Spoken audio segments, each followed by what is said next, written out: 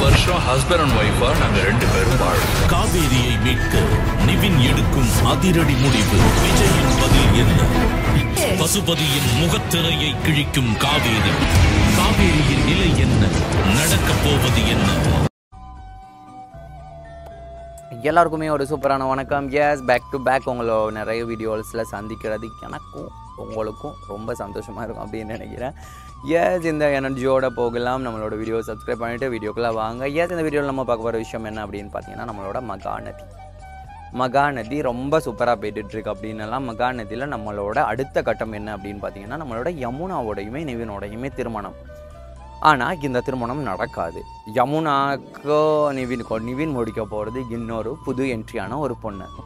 யார் அந்த புது என்ட்ரியான பொண்ணு? யார் அது? அப்போ யமுனாவோட நிலைமை ஒன் சைடாக யமுனா விரும்பிட்டு இருக்காங்க அப்போ அது நடக்காது? ஆல்ரெடி விஜயோட ஆல்ரெடி பார்த்தீங்கன்னு சொன்னால் நம்மளோட காவேரி நிவினை தான் திருமணம் செய்வாங்க அப்படின்னு சொல்லி பப்ளிக் ஒரு மைண்ட் செட் ஒன்று வச்சுருந்தாங்க. பட் அந்த மைண்ட் செட்டை உடைக்கிற மாதிரி அவங்க விஜயன் ஒரு கேரக்டர் வந்தாங்க. அவங்கள காவேரி திருமணம் பண்ணாங்க இப்படின்னு ஒரு விஷயம் நடந்துச்சு.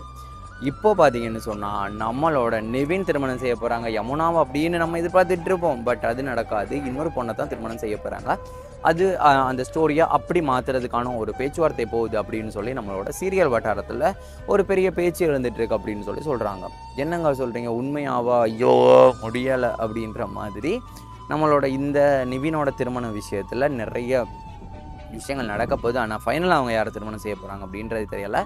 பட் அந்த புது கேரக்டர் ஒன்று வரப்போகுது. ஸோ புது கேரக்டரை சுற்றி தான் அந்த கதையுமே நகர்ந்து. ஸோ இவங்க அவங்கள முடிக்கிறாங்களா இவங்கள முடிக்கிறாங்களா அப்படின்ற ஒரு பெரிய ஒரு பிரச்சனைகளுமே நடக்க போகுது. ஸோ என்ன தான் நடக்கும்? இவங்களோட லைஃப்பில் என்ன தான் இருக்குது இன்னுமே பார்க்குறதுக்கு அப்படின்றது இருக்க.